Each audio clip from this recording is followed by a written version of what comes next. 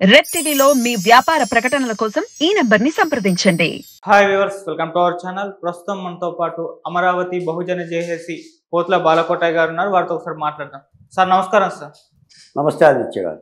Sir Prashanth Kishore గారు ఒక వ్యూహకర్త. మన నిన్న చంద్రబాబు గారితో మీటింగ్ ఏర్పాటు చేసుకున్నారు. దాదాపు నాలుగు గంటలు మాట్లాడిన తర్వాత బయటకు వచ్చి ఒక ప్రెస్ మీట్ పెట్టడం చూసాం. ఈ ప్రెస్ మీట్లో ఆయన క్లారిటీగా చెప్పేశారు. జగన్మోహన్ రెడ్డి గారు ఈసారి అధికారంలోకి ఎట్టి పరిస్థితుల్లో రారు. ఘోరాది ఘోరంగా ఆయన ఓడిపోతారు. వైసీపీ పార్టీ ఓడిపోతుందని చెప్పడం చూస్తున్నాం. మరి ఆయన చెప్పిన ప్రకారంగానే జరుగుతుందా? ఇది చూస్తే అధికార పక్షం వాళ్ళు ప్రశాంత్ కిషోర్ ఫెయిల్యూర్ ఆయన చెప్పింది ఏమి కాదని చెప్తున్నారు. ప్రతిపక్షాలు మాత్రం ఆయన్ని సపోర్ట్ చేస్తూ వస్తున్నాయి. మరి ఏం చెప్తారు? టీడీపీ జనసేన కూటమి అధికారంలోకి వస్తుందని చెప్తారా? లేదా జగన్మోహన్ రెడ్డి గారు ఏదో ఒకలాగా అధికారంలోకి వచ్చారని చెప్తారా? మీ ఒపీనియన్ సార్ ధన్యవాదాలు ఆదిత్య గారు సార్. ఈ రోజున ఒక అత్యంత ముఖ్యమైన అంశం మీతో మాట్లాడాలి. నేను అలా మాట్లాడుతున్నందుకు. సాక్షాత్తు బాలకోటయ్య కూడా ఇలా అభిప్రాయపడుతున్నందుకు కొద్దిమంది బాలకోటయ్య గారికి ఏం తెలుసు? ఆయన వయసు ఎంత? ఆయన ఏ రాజకీయ పార్టీలో ఏమేం పదవులు అధిరోహించారు? ఏమాత్రం అనుభవం ఉంది? అని కూడా భావించవచ్చు. అవును. ఈ మాట చెప్పటానికి కూడా ఒక నాలుగు సంవత్సరాలుగా కుడి చేత్తో అమరావతి ఉద్యమం ఎడమ చేత్తో దళితోద్యమం బులుగు కండువ ఆకుపచ్చ కండువ మెడన దాల్చి నాలుగు సంవత్సరాలుగా ప్రాణాలొడ్డి అధికార వైసీపీ పార్టీ ముఖ్యంగా ముఖ్యమంత్రి జగన్మోహన్ రెడ్డి గారి మీద తెగించి పోరాడారు. తెగించి కలవడ్డాం నా నుంచి ఈ మాటలు వస్తున్నాయి అంటే రాష్ట్ర ప్రజలు అర్థం చేసుకోవాలి. ఎందుకు చెప్తున్నాము అని. ఏం ఆచార్యగారు నువ్వు వీరుడివి నువ్వు శూరుడివి నువ్వు బలపరాక్రముడి అని అనటం వేరు. ఆదిత్య గారు మీరు జాగ్రత్తగా ఉండండి జాగరూకతగా ఉండండి. ఇది జీవితం. మీ దగ్గర ఉన్న డబ్బులు జాగ్రత్తగా ఖర్చు పెట్టుకోండి. మీరు చేస్తున్న ప్రయాణం జాగ్రత్త అని చెప్పటం లేదు. అవును. సమాజం ఎలా ఉందంటే రాజకీయాల్లో ఓహో అని అంటే చప్పట్లు కొడతారు ఉమ్, జాగ్రత్త అని అంటే ఈయనకేం తెలుసు అంటారు ఇప్పుడు బంగారపు రాజు ఒకడు ఉన్నాడు బంగారు వస్త్రాల రాజు. ఒక రాజుకి బంగారపు వస్త్రాలు ధరించాలని ఆశ పుట్టింది. ఉమ్, ఆ రాజ్యంలో ఉన్న చేనేతోని పిలిచాడు వాడు బంగారు వస్త్రాలు వేస్తున్నాడు. ఉమ్, నేను బంగారు వస్త్రాలు ధరించాలా బంగారంతో తయారు చేయాలంటే వాడేమన్నంటే ఇదేం రాజు వీడు మూర్ఖుడా తిక్కలోడా? బంగారంతో బట్టలు ఎట్టేస్తాయి అని అనుకొని మరి రాజుగారు తయారు చేయమన్నాడు నేను తయారు చేయను అని అంటే తల తీసేస్తాను అని భయపడి చేస్తాను సార్ బంగారంతో అని. ఓకే. ఓకే అన్నాడు. వెళ్ళాడు. ఓ నెల రోజులు కాలక్షేపం చేశాడు వచ్చాడు. రాజుగారి దగ్గరకు వచ్చి ఓ మాట చెప్పాడు. రాజుగారు ఇప్పుడు ఈ బంగారు వస్త్రాలు మీరు వేసుకునే బంగారు వస్త్రాలు పుణ్యాత్ములు తప్ప పాపాత్ములు కనిపించవు అని. ఈ బంగారు వస్త్రాల యొక్క మహిమ అని. ఉమ్, దేవతా వస్త్రాలు. దేవతా వస్త్రాలు పుణ్యాత్ములకి కనిపిస్తే పాపాత్ములు కనిపించవు. ఓహో అలాగా అయితే వేసేరా మీరు ఆ రాజుగారి గొడ్డలు ఎప్పండి మీ ఒంటి మీద గొడ్డలని వాళ్ళ గొడ్డలన్నీ ఇప్పింది వీడు ఈ దేవతా వస్త్రాలు పట్టుకొని ఆ చేతికి ఆ కారికి ఇలా ఇలా ఇలా అని చెప్పేసానని ఓకే అయిపోయింది రాజుగారు మీకు బట్టలు ఇస్తాను అన్నాడు ఓకే. రాజుగారికి అర్థం కాల. ఇదేంటా? నేను ఎలాగనే ఉన్నాను వీడేమో వస్త్రాలు ధరించాను అంటాడు.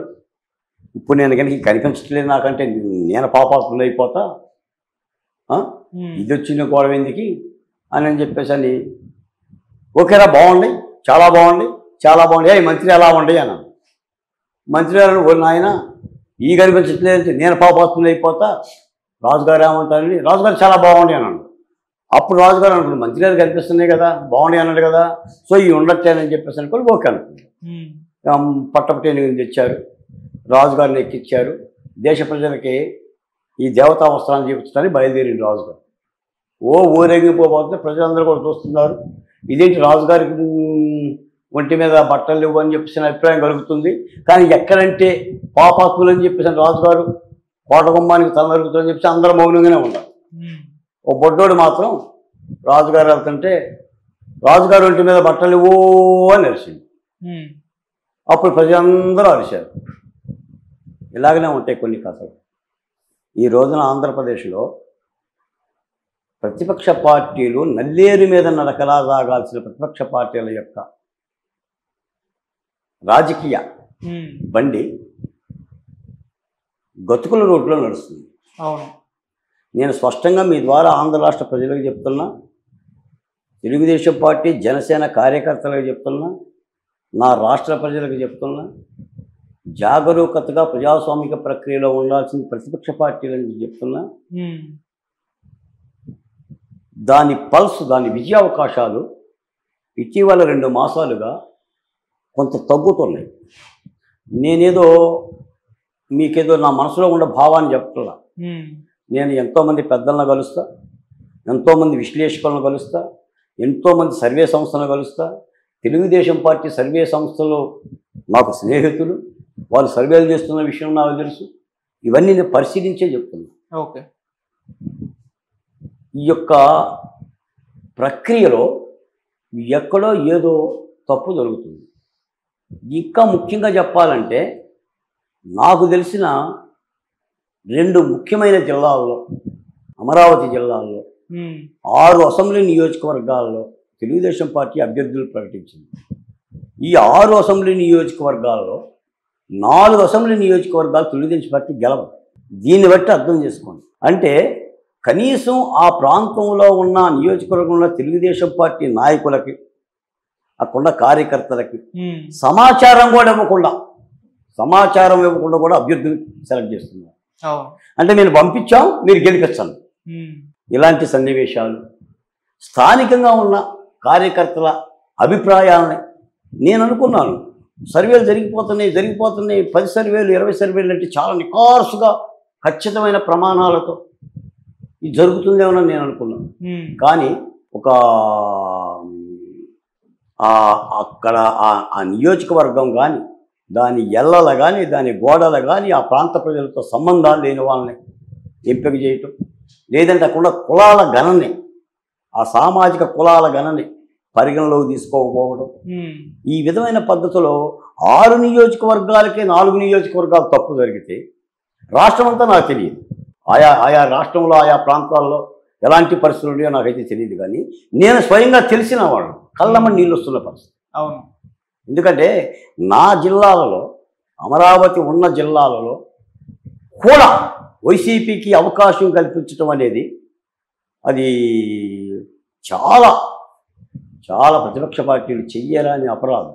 ఇంకో మాట కూడా ఏంటంటే ఆదిత్య గారు చెట్టు ఎందుకు చచ్చిపోతుంది? చెట్టు దానిలో ఉన్న చెద ద్వారా చచ్చిపోతుంది. ఓకే. పక్క చెట్టులో ఉన్న చెద ద్వారా చచ్చిపోదు. తన చే తన తన ఒంట్లో ఉన్న చెద ద్వారానే చచ్చిపోతుంది.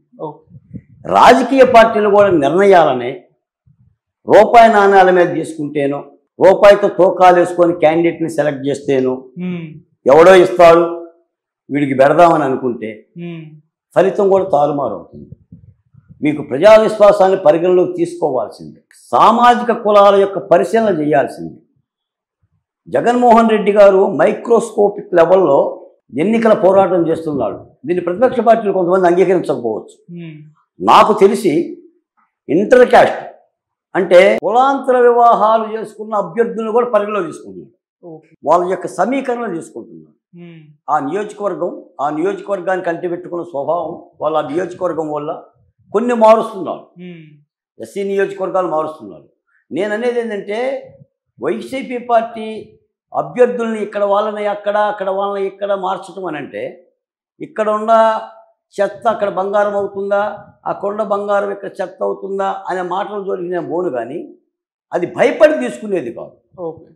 అది జాగరూకతతో తీసుకునేది. జగన్మోహన్ రెడ్డి గారు భయపడతాడు అనే మాటకు అర్థం లేదు. జగన్మోహన్ రెడ్డి గారు భయపడతాడా? మీరు చెప్పండి. లేదు. మరి భయపడి మారుస్తున్నాడు అంటారేంటి కొన్ని రాజకీయ పక్షాలు జాగరూకతగా తీసుకుంటున్నారు. ఓకే. ఆ జాగరూకత ఉండాలి. అవును. అధికార పక్షాన్ని ఇప్పుడు ఈ ముప్పై రోజుల యుద్ధ సమయంలో గేలి చేయటం ఎగసారి చేయటం కాదు. జగన్మోహన్ రెడ్డి గారు చేసే తప్పిదాలని చేశాడు. వందకు నూట ఒక్క తప్పిదాలు అయిపోయినాయి. ప్రభుత్వ వ్యతిరేకత విపరీతంగా ఉంది. జగన్మోహన్ రెడ్డి గారి మీద విపరీతమైన వ్యతిరేకత ఉంది. ఆ వ్యతిరేకతని ప్రతిపక్ష పార్టీలు సొంతం చేసుకోవాలి. ఇద్దరు నాయకులు కలిస్తేనో ముగ్గురు నాయకులు కలిస్తేనో. నాయకులు కలిస్తే ఆ వ్యతిరేకత సొంతం కాదు. అవును. ఆ రెండు పార్టీల ద్వారా ప్రజలను కలపాలి. కార్యకర్తలను కలపాలి. ఉమ్, కౌగిలించుకోవాల్సిన వాళ్ళు కింద స్థాయిలో గ్రామ స్థాయిలో. మండల స్థాయిలో జిల్లా స్థాయిలో. ఆ కలయిక అక్కడ ఉండాలి. అంటే ఈ కోణంలో ఈ సర్వే సంస్థలు కూడా ఇటీవల వచ్చిన కొన్ని సర్వే సంస్థలు నేను ఫిగర్ చెప్పను కానీ రెండు నెలల క్రితం ఈ ఈ ఉమ్మడి పార్టీలు అంటే జనసేన తెలుగుదేశం పార్టీల యొక్క స్టాండ్ ఎన్ని సెట్లలో ఉంది ఇప్పుడు ఎన్ని ఎన్ని సెట్లలో ఉందనేది నేను ఫిగర్ చెప్పను కానీ తగ్గుతున్న మాట మాత్రం కాదు అంటే సాఫీగా నడవాల్సిన నల్లేరు మీద నడక నడకాలని నేను గతంలో చెప్పాను ఎన్నోసార్లు చెప్పాను ముఖ్యమంత్రి జగన్మోహన్ రెడ్డి గారు తన ముఖ్యమంత్రి పీఠాన్ని ప్రతిపక్ష పార్టీలకు ఇవ్వటానికి చాలా సిద్ధంగా ఉన్నాడు. ఉవ్వుళ్ళు ఊరుతున్నాడు అందుకని చేయాలని తప్పిదాలు చేస్తున్నాడు. కానీ తీసుకోవడానికి ప్రతిపక్ష పార్టీలు సిద్ధంగా ఉన్నాయా? అనే ప్రశ్న కూడా వేశారు మీరు ముఖ్యమంత్రి పీఠాన్ని మీరు తీసుకోవాలి అని అంటే మిమ్మల్ని ప్రజలు ఆదరించాలి. మిమ్మల్ని ప్రజలు చూడాలి. ఈ కోణాలన్నీ కూడా పనిచేస్తాయి. ఒక విధంగా ఏంటంటే మా బాధ అంతా ఏంటంటే ఏ రాజకీయ పార్టీ ఎన్నికల్లో ఓడిపోయినా రాజకీయ పార్టీకి వచ్చే నష్టం ఏం లేదు. ఇరవై నాలుగు ఎన్నికలు కాబట్టి ఇరవై తొమ్మిది ఎన్నికలు. ఇరవై తొమ్మిది ఎన్నికలు కాబట్టి ముప్పై మూడు ఎన్నికలు. అంటే సరైన ప్రభుత్వం రాకపోతే సరైన నాయకుడు రాకపోతే కోల్పోయేది రాష్ట్రం. మీకు రెండు వేల పంతొమ్మిది అదే కాక అర్థమైంది? ఉమ్, ఇప్పుడు జగన్మోహన్ రెడ్డి గారు సరైన నాయకుడు కాకపోవటం మూలంగా రాష్ట్రం కుదేలయ్యింది. ఉమ్, జగన్మోహన్ రెడ్డి గారు సరైన నాయకుడా కాదా అనేది ఆయన అధికారంలోకి వచ్చిన తర్వాత ప్రజలకు తెలిసింది. ఎవడైనా ఇప్పుడు పుత్రోత్సాహం కలగదు. పుత్రుడు జనించిన వెంటనే ఉమ్, పుత్రులు కనుగొని పొగడగా పుత్రోత్సాహము కలుగులు తండ్రికి. వాడు ఎదిగిన తర్వాత నలుగురు కలిసి కొడుకుని శభాషుడు అంటే నా కొడుకుని జీవిస్తున్నారు నా కొడుకు మంచివాడు అంటున్నారని తండ్రికి సంతోషం. వాడు పుట్టగానే సంతోషమే ఉంటుంది అలాగనే ఇది కూడా తప్పనిసరిగా ఈ ప్రజా జీవులు తీసుకెళ్ళాలి. ఇంకో మాట కూడా చెప్పాలంటే నేను చెప్పాల్సిన ముఖ్యం. రామరావణ సంగ్రామంలో రావణుడి రావణుడు ఓడిపోవటానికి రావణుడిని అంతం చేయటానికి ప్రధానంగా ఉపయో ఉపయోగపడింది విభీషకుడు విభీషకుడు తన అన్న ప్రాణాలు బొడ్డులో ఉండయని చెప్పకపోతే రామబాణానికి ప్రయోజనం లేదు. మేము గత నాలుగు సంవత్సరాలుగా నెత్తి నోరు కొట్టుకొని చెప్తున్నాం. డాక్టర్ సుధాకర్ తరపున డాక్టర్ అచ్చర్ల తరపున వజీరా తరపున మార్ల హోమాల తరపున హత్యల తరపున శిరోమండనాల తరపున సార్ నిన్న కళ్యాణదుర్గంలో ఒక గిరిజనుడు గడ్డం తీసుకోవడానికి షాప్కి వెళ్తే ఇద్దరు వైసీపీ నాయకులు వచ్చి సగం గడ్డంతో చొక్కా బట్టి కొట్టి వాడిని నిల్లగొట్టారు గిరిజనుడు కాబట్టి. రాజకీయ పక్షాలు వైసీపీ వాళ్ళు వచ్చేసి కొట్టారని చూస్తున్నారు. నేను అగ్రవర్ణాలలో కొట్టారని చూస్తున్నాను. అక్కడ కులాంతరం వాడు ఎస్టీ. వాడు ఎస్టీ కులం కాకపోతే మరో కులం అయితే వాడిని నిలగొట్టేవాడు కాదు. వాడు సగం గడ్డంతో వెంకటరాయుడు పోయేవాడు కాదు. అంటే ఇక్కడ ఆంధ్రప్రదేశ్లో దేన్ని చూడాలో దాన్ని చూడాలి. అవును.